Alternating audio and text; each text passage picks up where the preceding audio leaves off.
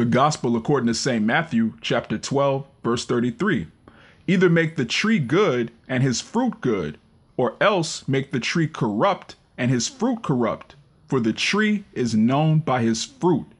All right, I want to give all praises, honor, and glory to Yahawah, Bahasham Yahawashi, Bahasham Rahak Yahawah is the true name of the Heavenly Father in the Holy Tongue.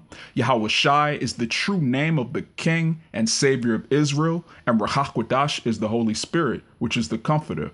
Double honors the apostles and elders of Great Millstone for leading by example in these last days. And Shalawam to the hopeful elect. All you Akim making your bodies a living sacrifice. Now, through the Spirit, the name of this lesson is The Tree is Known by His Fruit. And I just want to go into how you have a lot of people that claim to believe in the Most High. They claim to believe in the scriptures, but their fruits are rotten. They have absolutely no business claiming to be servants of the Lord because, as Yahweh said, the tree is known by its fruit. Now, I want to get this in Mark real quick to prove that the trees represent people in the scriptures. This is the gospel according to St. Mark, chapter 8, verse 24. And he looked up and said, I see men as trees walking. And this is a great precept to go into for example, Genesis, the third chapter, where it talks about the different trees among the garden, that represents different men, different bloodlines, different seeds. And spiritually, there are different seeds on the earth right now. There are good trees and there are corrupt trees, and they bring forth good fruit and corrupt fruit. Now, let me get back to this Matthew because Yahushua is breaking down the difference between the good and corrupt tree.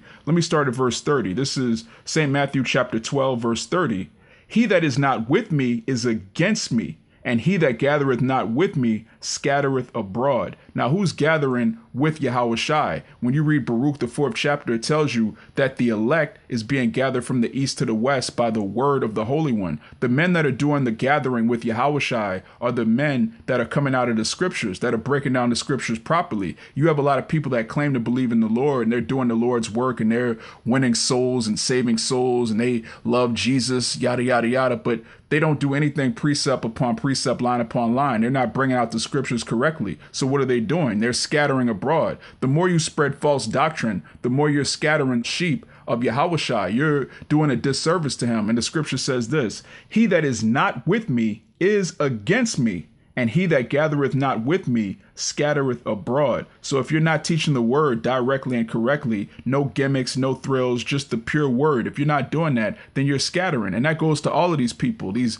Israelites that know that they're Israelites, these Israelites that are teaching Christianity and Islam and all manner of wickedness. All of these people are corrupt trees. It's going to tell you, verse 31, Wherefore I say unto you, all manner of sin and blasphemy shall be forgiven unto men, but the blasphemy against the Holy Spirit shall not be forgiven unto men. And whosoever speaketh a word against the Son of Man, it shall be forgiven him. But whosoever speaketh against the Holy Spirit, it shall not be forgiven him, neither in this world, neither in the world to come. And the world to come is talking about the kingdom of heaven. The Israelites that reject the gospel, they're going to be called least in the kingdom of heaven. It tells you in Matthew, the fifth chapter, the 17th and 18th verse, it tells you that the men that teach other men to not keep the commandments, they're going to be called least in the kingdom. There is going to be a hierarchy in the kingdom of heaven. Yes, according to prophecy, all Israel shall be saved. And when you go into Isaiah, the 60th chapter, it tells you, My people shall all be righteous. There's not going to be a wicked Israelite in the kingdom, but there are going to be low Israelites. There are going to be people that forsook the Lord, that spoke against the Holy Spirit, people that scoffed against the doctrine. These people are not going to be forgiven because ultimately they were set up from the foundation of the earth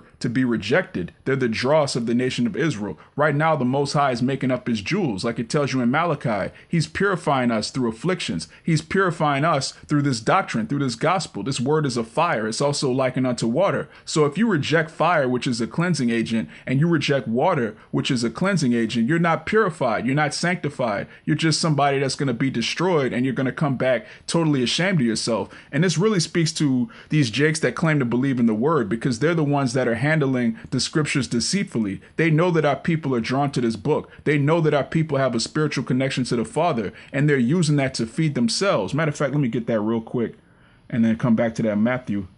This is the book of Ezekiel, chapter 34, Verse 7 Therefore, ye shepherds, hear the word of Yahawah. As I live, saith the Lord Yahawah, surely because my flock became a prey, and my flock became meat to every beast of the field, because there was no shepherd. Neither did my shepherds search for my flock, but the shepherds fed themselves.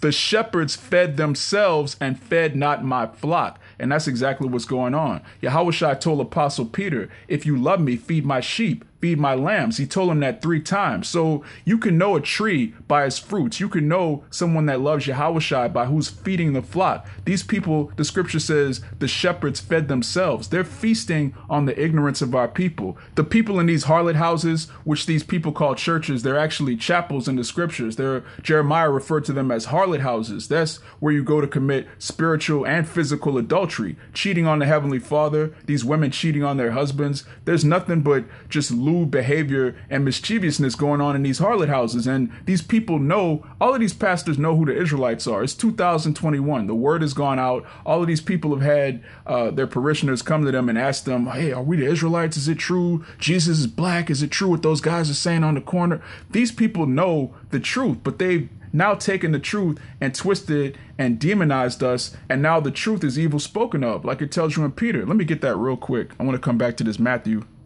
this is the second epistle of Apostle Peter, chapter 2, and I'm going to start at the top. But there were false prophets also among the people, even as there shall be false teachers among you, who privily shall bring in damnable heresies, even denying the Lord that bought them, and bring upon themselves swift destruction. And that's right, that's what's coming to these people that mislead the Lord's flock a swift destruction. You can see judgment going out. You can see we're in the last days, and these people playing with the Lord, they have a very rude awakening coming to them. Verse 2 And many shall follow their pernicious ways, by reason of whom the way of truth shall be evil spoken of. And that's exactly what we see. All of the people that are mangling the scriptures and lying about Yahawah and his servants, that are misrepresenting the doctrine, that are telling their congregation to not listen to those Hebrew Israelites. You have people saying, don't listen to those Israelites. They bring out too many scriptures. How there's no such thing as too many scriptures. What what type of madness is that? But the scripture says, by reason of whom the way of truth shall be evil spoken of. And Yahweh told you that's how you're going to know who my servants are. These people that are hated of them in the world. The way of truth is going to be evil spoken of. It says, verse 3 And through covetousness shall they with feigned words, which feign means fake, pretend, facade, through feigned words make merchandise of you whose judgment now of a long time lingereth not, and their damnation slumbereth not. So the false prophets, these people that are corrupt trees that bring forth corrupt fruit, they're making merchandise of their congregation. They're listen, every time these people host an event, whether it's an Israelite that's having some kind of party, hip hop Passover, or it's a Christian pastor that has some kind of event, he looks at every single member of his congregation and he sees dollar signs over their head. He sees like the like a 3D image, a hologram of a dollar sign hanging above their head. That's how they look at their congregation. They are not in this for the Lord. They're not trying to glorify Yahawah Bashem Yahawashi. Most of them don't even call on the name. Most of them will tell you that the, the name of the Lord doesn't matter. His name matters. His title matters. He's deacon this. He's pastor this. He's apostle that. His name matters, but the Lord's name, you can call him whatever. You can call him Jesus, Yeshua, Yeshaya, Yeshua, Yeshua. They don't care at all about the sufferings of Yahweh Mashiach, and they especially don't care about the gathering of the elect. And again, as we read, Yahweh said, Those that are not gathering with him scattereth abroad. Now, let me get back to this Matthew because it's going to draw a distinction between the good tree and the corrupt tree. This is back in the Gospel according to St. Matthew, chapter 12, and we were at verse 33. Either make the tree good and his fruit good, or else make the tree corrupt and his fruit corrupt. For the tree is known by his fruit right? When you walk past a tree and you see a bunch of apples on the ground, you know, okay, this is an apple tree. When you walk past a tree and you see some oranges on the ground, you go, okay, this is an orange tree. A tree is obviously known by its fruit. So when you see a congregation full of people that don't know anything about the Lord, but they've been going to church for 50 years, that's a reflection on a corrupt tree. The pastor is corrupt. That's a reflection on the leadership. Now, you look at any man in Great Millstone. If you've been in Great Millstone for six months, you're doing what? You're breaking down the scriptures, precept upon precept. You're going into the law, the prophecies. You're going into the Hebrew, the Greek. You're breaking down the scriptures with understanding. Why? Because you're a reflection of your teachers. We're all a reflection of Yahawah Bashem Yahawashi and the men that he set up. And you could tell who the Lord's dealing with because why? Yahawashi said it. A tree is known by his fruit. So if you want to know who the Lord's dealing with, Just look at the fruits of the different trees. If you have somebody that's been in church for 50 years and they can't tell you the name of the Lord, they can't tell you anything about the book of Revelation, they can't tell you anything about Genesis. These people can't break down Genesis, the first chapter, the first page, like the first verse. Okay, in the beginning, quote unquote, God created the heavens and the earth. These people have no idea what the word God means. They honor quote unquote God with their lips, but they don't even know what the word means, much less how to please him. The Heavenly Father made that known unto his fruits. Now, this is the book of Sirach in the Apocrypha, chapter 10. I'm going to start at the top. A wise judge will instruct his people, and the government of a prudent man is well ordered. As the judge of the people is himself, so are his officers. And what manner of man the ruler of the city is, such are all they that dwell therein. Right. So again, a congregation is a reflection on the leadership, on the pastor, on the judge. The scripture says, as the judge of the people is himself, so are his officers. So again, this goes back to what? St. Matthew, the 12th chapter. The tree is known by his fruit. The judge is known by his officers. You can look at any philosophy and tell whether or not it's productive or completely satanic. Just look at the people that adhere to the doctrine. For example, if you look at democracy, for example, look at politicians. These are corrupt, demonic people. You don't have to study democracy for 20 years to come away with the conclusion that democracy is evil. Just look at the people that believe in democracy. Look at how they behave. It's clearly a degenerate philosophy, whether it's Catholicism. The, Catholic Church is an international pedophile ring. That much is clear. So, whether or not you want to study Catholicism and go to a seminary school or a, get a theologian degree, you can just look at the behavior of not only the Catholic priests, but all of the people that cover it up, all of the people that are with this demonic entity. You could tell that it's of a corrupt tree just by looking at the fruits. So if you want to know who has the truth, if you want to know who the Lord's dealing with, all you have to do is look at the fruits. And it's clear that the Lord is dealing with his men that are teaching the commandments and repentance to the nation of Israel, starting with the apostles of Great Millstone on down, who are not only teaching the commandments, but teaching prophecy. Because you can't just tell Jake, look, you're an Israelite, keep the commandments, you got to have fringes, you got to do this, you got to do that. You have to break down who Yahushua really is, not just that he's a so-called black man, but who he really is, what he really stands for, break down the purpose of the sacrifice, let Jake know what's really going on. And then he gets built up in the spirit and he's going to want to keep the commandments because he's going to want to please the Heavenly Father and his only begotten Son. So when you look at someone telling you that the commandments are done away with, we don't have to keep that anymore, that, that's the Old Testament, that's clearly a corrupt tree and they're going to bring forth corrupt fruits. Look at any neighborhood that has a plethora of black churches it's obvious that Christianity is a corrupt tree just by looking at any neighborhood that has a bunch of churches in it, which, again, those are harlot houses according to the scriptures. We're the actual church. We're the actual temple that the Heavenly Father dwells in. This is the third temple right here, the building of Yasharahla. Now, this is the book of Isaiah, chapter 3, verse 12. As for my people, children are their oppressors, and women rule over them. O my people, they which lead thee cause thee to err and destroy the way of thy paths. And this is manifold. When it says children are our oppressors, this goes into literally there are children that terrorize the so-called black community, but also it goes into the Edomites. They're spiritually children. They're they have absolutely no sense of accountability or responsibility. And these are the people that are ruling the earth right now. Going back to Job 9 and 24, the earth was given into the hand of the wicked. But it also says what? And women rule over them. And that is no more present than the so called black church. You can go to any so called black church and you see women are ruling, man. It's that it's complete opposite of the scriptures. They don't have any sense of submission to their husbands. And that causes what? This is Second Timothy chapter 3, verse 5. Having a form of godliness, but denying the power thereof. From such turn away.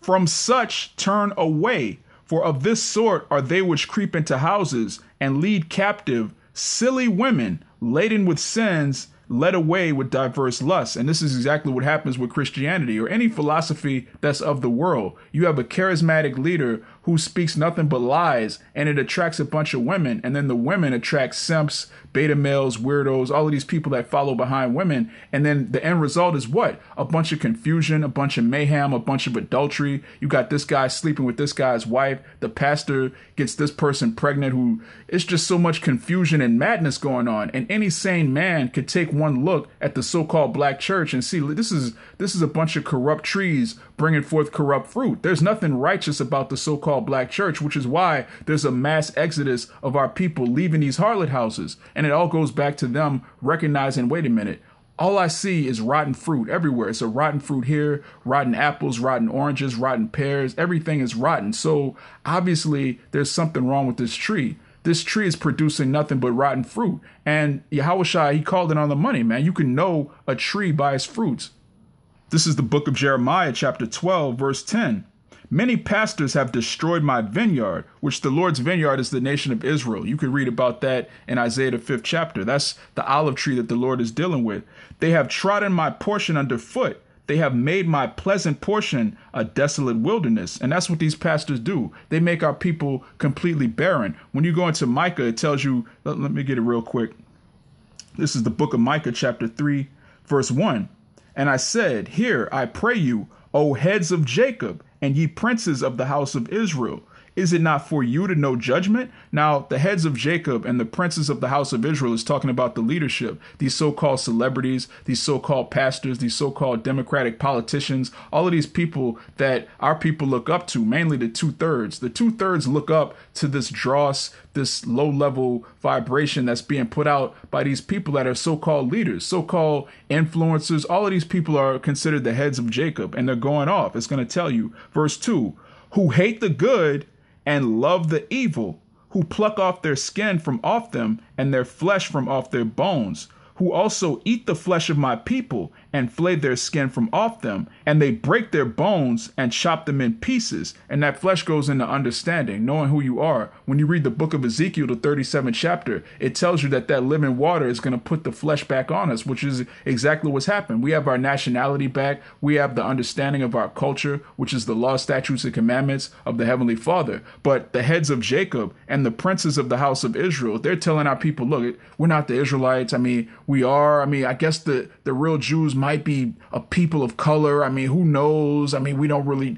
they're just on some, we have to keep these people dark and blind as long as possible because that's what's going to bring in the most money. They only care about fiat currency. They only care about lining their pockets. They don't care about lacing Jake up with the truth, letting them know what's about to happen because all holy hell is about to break loose on the planet Earth. So these are basically dumb dogs, like it tells you in Isaiah. Let me get that real quick.